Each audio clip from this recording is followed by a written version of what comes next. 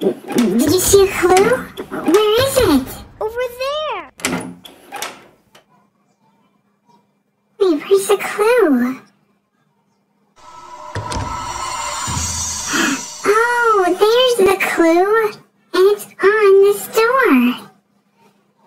This door leads to the backyard.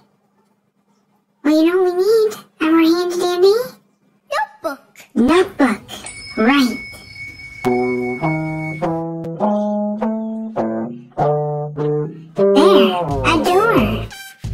Is the first clue.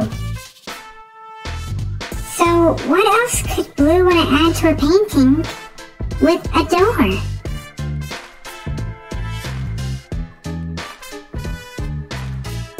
Maybe, but I suggest we find two more clues. Hey, Fluttershy! Oh, come on. It sounds like Pa.